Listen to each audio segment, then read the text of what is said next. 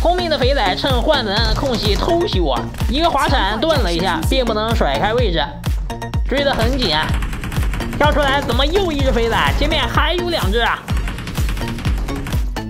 跑是跑不过的，卡个视角，回头戏耍的是晕头转向，我不信他们还敢追。跳过来，他早已堵好位置了，没办法，往楼梯上，突然再往右滑铲，没想到吧？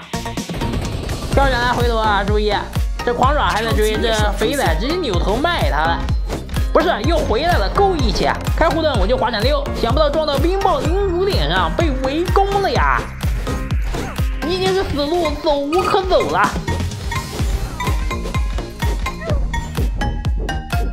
只剩三百八十四点血量，